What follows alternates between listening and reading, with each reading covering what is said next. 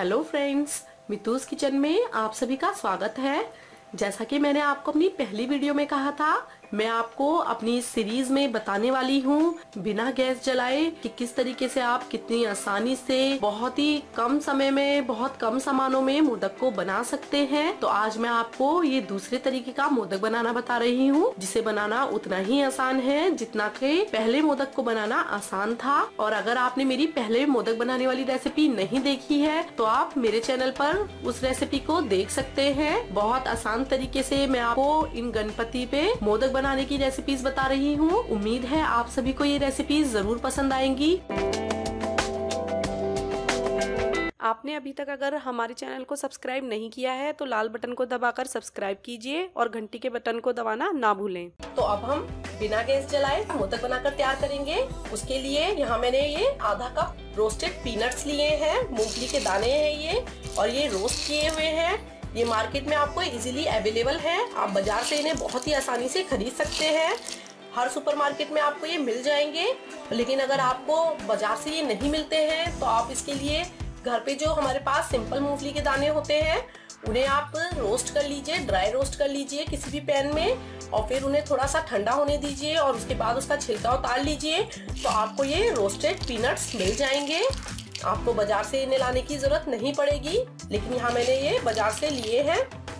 तो इस तरीके से रोस्टेड पीनट्स ले लें, और यहाँ मैंने आधा कप कद्दूकस किया हुआ गुड़ लिया है। हम गुड़ से और पीनट से बहुत ही टेस्टी मोदक बनाने वाले हैं तो इसमें हमें कुछ भी नहीं करना है। बस एक मिक्सी का जार लेंगे, और उसमें ये पीनट्स डाल देंगे, और पीनट्स को डाल के एक बार ग्राइंड कर लेंगे। तो मैं इसको ढक्कन लगा देती हूँ और इसे मिक्सी में ग्राइंड कर लेती हूँ एक बार।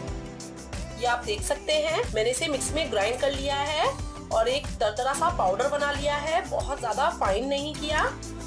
तो इसे मिक्सी को बीच बीच में रोक रोक के चलाते रहे और इस तरीके से इसका पाउडर बना ले मूंगफली के दानों का। तो दिखा देती हूँ आपको, ये देख सकते हैं आप दरदरा मैंने इसे मिक्सी में ग्राइंड कर लिया है। अब हमें दूसरा स्टेप क्या करना है? ये जो गुड़ हमने लिया है आधा कप, ये गुड़ भी हम इसमें डाल देंगे और इसे एक बार ग्राइंड कर लेंगे। वैसे तो मैंने गुड़ को कद्दूकस से ग्रेट कर लिया था, लेकिन मैं इसे एक बार इसमें डाल के मिक्स कर लूँगी ताकि मूंगफली के दाने इसमें अच्छे से मिक्स हो सके। तो अब हम इसे मिक्सी में ग्राइंड कर ले। मैंने इसे मिक्सी में हल्का सा चला लिया है, ज़्यादा नहीं चलाया, बिल्कुल हल्का सा चलाया है। तो अब हम इसे एक बाउल में निकाल लेंगे और इसे हाथ से मिक्स कर लेंगे।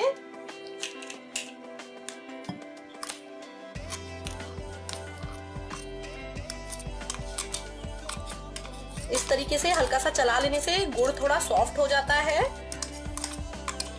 तो इसलिए थोड़ा सा हम इसे चला लेंगे और गुड़ की मात्रा आप अपने टेस्ट के अकॉर्डिंग कम या ज़्यादा कर सकते हैं। अगर आपको थोड़ा ज़्यादा मीठा खाना पसंद है तो आप इसमें थोड़ा सा ज़्यादा गुड़ ऐड कर सकते हैं। अब दोनों चीज़ों को हाथ से अच्छे से मिक्स कर लेंगे और इसका भी एक पेस्ट बना लेंगे अच्छा सा। इस तरीके से बहुत ही बढ़िया मोदक बनकर तैयार होंगे। कोई भी नहीं बता पाएगा कि ये मोदक आपने इतनी आसान तरीके से बनाए हैं। सभी चीज़ों को मैंने अच्छे से मिक्स कर लिया है। तो अब हम इससे मोदक बनाना शुरू करते हैं।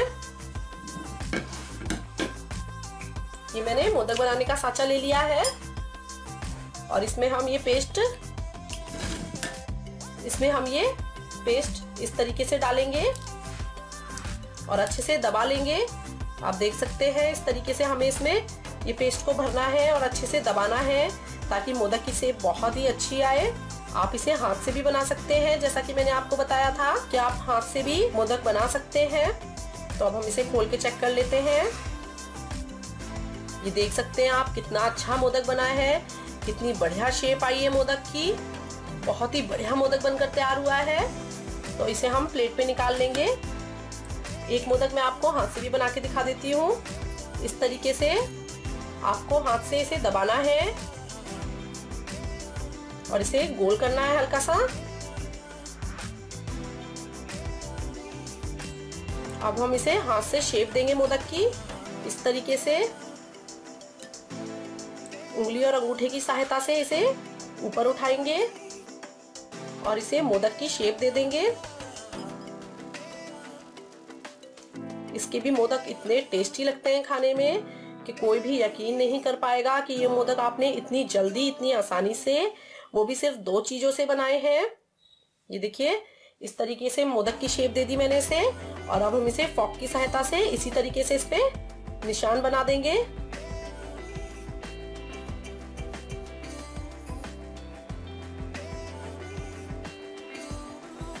ये देखिए, आप देख सकते हैं कितना अच्छा मोदक बन गया है हमारा। वो भी बिना सांचे के कितना बढ़िया मोदक बना है। इसे भी हम प्लेट पे रख देंगे। इसी तरीके से हम सारे मोदक बनाकर तैयार कर लेंगे। तो ये बिल्कुल परफेक्ट रेशो है हमारा गुड़ और गुड़ और मूंगफली के दानों का। बिल्कुल परफेक्ट रेशो है। अगर आप चाहें तो इसमें ड्राई फ्रूट्स भी ऐड कर सकते हैं। ड्राई फ्रूट्स को भी इसी तरीके से आप पीस लीजिए और फिर गुड़ के साथ ऐड कर दीजिए। कितना अच्छा मोदक बनकर तैयार हुआ है हमारा। ये देखिए, बहुत ही अच्छे मोदक बन रहे हैं। तो इसी तरीके से हम सारे मोदक बनाकर तैयार कर लेंगे। ये देखिए, मैंने सभी मोदक बनाकर तैयार कर लिए हैं और आप देख सकते हैं कितने अच्छे मोदक बनकर तैयार हुए हैं। इतने से कम सामान में हमने कितने सारे मोदक बनाकर तैयार करे हैं। ये मोदक खाने में बहुत टेस्टी लगते हैं। आप इस तरीके से मोदक बनाकर गणपति बापा को भोग लगाएँ।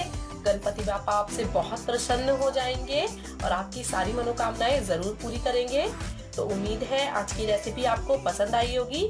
अगर आज की रेसिपी आपको पसंद आई है तो इसे ज़्यादा से ज़्यादा लाइक करें, ज़्यादा से ज़्यादा लाइक करें, अपने फैमिली और फ्रेंड्स में रेसिपी को शेयर करें और मुझे कमेंट करके बताएँ कि आज की रेसिपी आपको कैसी लगी।